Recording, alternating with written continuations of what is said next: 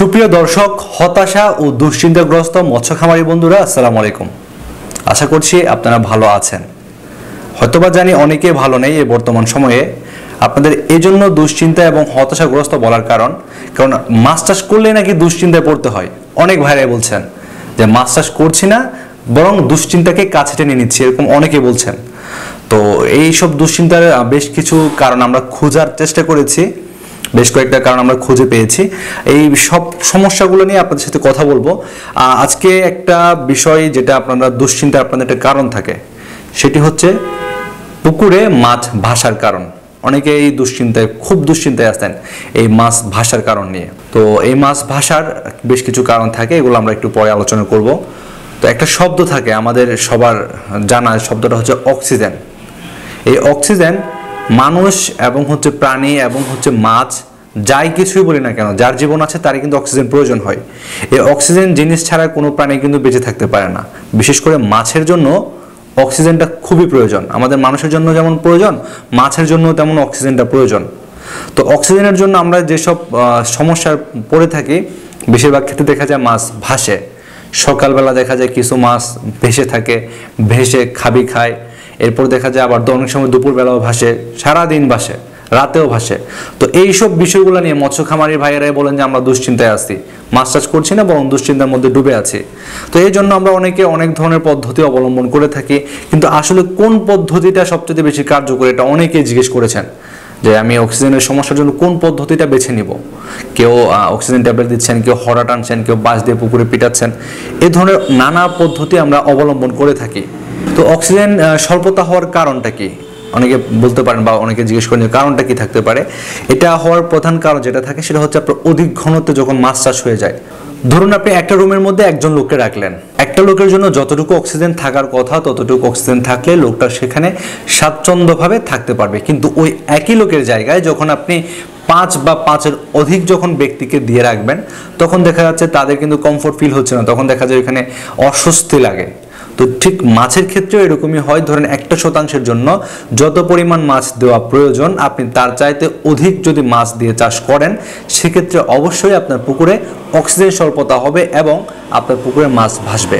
এরপরে যেটা হয়ে থাকে সেটা হচ্ছে আপনার অনেক সময় দেখা যায় পুকুরে খাবারের যে যেটা আমরা হচ্ছে হাতে তৈরি খাবার বা যেটা হচ্ছে আমরা সম্পূরক যে খাবারটা দিয়ে থাকি, ভাসমান ফিট বা ডুবন্ত ফিট এইসব ফিটগুলো যখন পুকুরে বেশি পরিমাণে হয়ে যায়, একদম নিচে যখন গিয়ে জমা হয়ে যায়, এক্ষেত্রে দেখা যায় বিভিন্ন গ্যাস তৈরি করে এখানে অক্সিজেনের স্বল্পতা হয়ে যায়।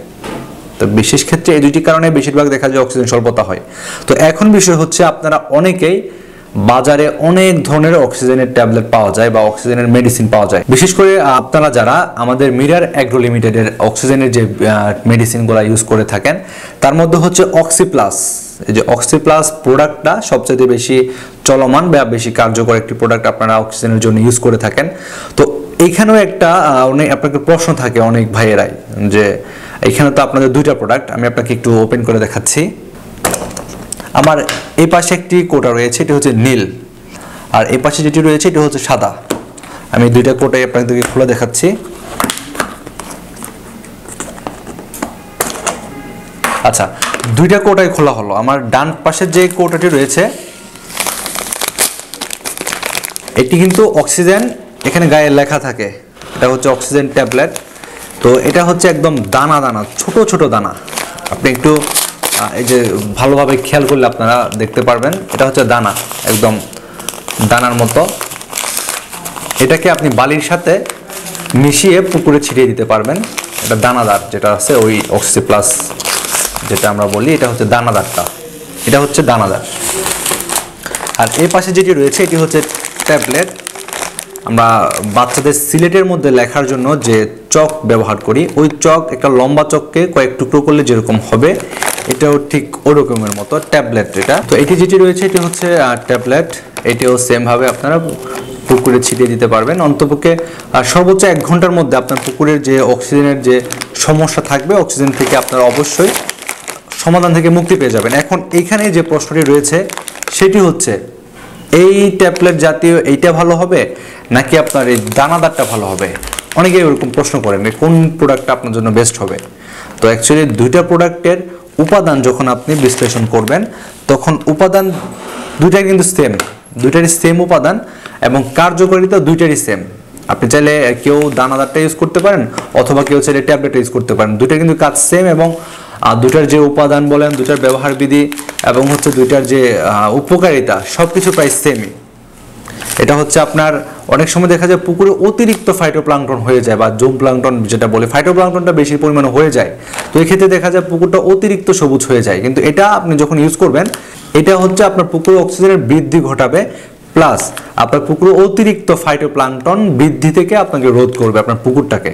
পুকুরের পানিতে ক্লোরিনের একটা বিষয় থাকে এটা ক্লোরিনের যে মাত্রা, এটাকে স্বাভাবিক রাখবে। তো এখন আপনারা যারা কনফিউশনে রয়েছেন যে কোনটা আপনারা ইউজ করবেন, কি ট্যাবলেট ইউজ করবেন না দানাদার ইউজ করবেন, আশা করছি এখান থেকে আপনারা বুঝতে পেরেছেন যে দুইটার মধ্যে সেম প্রোডাক্ট দুইটা সেম এটা জাস্ট দানাদার এবং এটা হচ্ছে আপনার একটু ট্যাবলেট আকৃতির। এখন দুইটা প্রোডাক্টের সেম কার্যকারিতা সব কিছুই সেম আপনারা দুইটা থেকে যে কোনো একটা ইউজ করতে পারেন। আশা করছি আর পরবর্তীতে আপনাদের কোনো ধরনের কনফিউশন থাকবে না। ইনশাল্লাহ আপনাদের মাছ চাষে যে অক্সিজেনের যে সমস্যা থাকে, আপনারা এই প্রোডাক্টটা ব্যবহার করলে অবশ্যই আপনাদের এই ধরনের সমস্যা থেকে আপনারা মুক্তি পাবেন। আর আপনারা কীভাবে সংগ্রহ করবেন?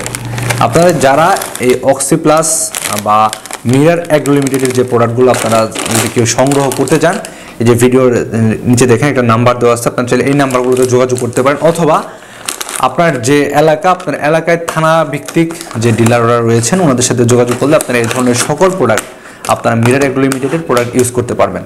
আশা করছি আপনার চাষটা আরও লাভজনক হবে। সে প্রত্যাশা রেখে আজকের মতো এখানে বিদায় নিচ্ছি। দেখা হবে অন্য কোনো পর্বে। সবাই ভালো থাকবেন, সুস্থ থাকবেন, আর হতাশায় থাকবেন না। আশা করছি আপনার চাষ আরও লাভজনক হবে। আসসালামু আলাইকুম।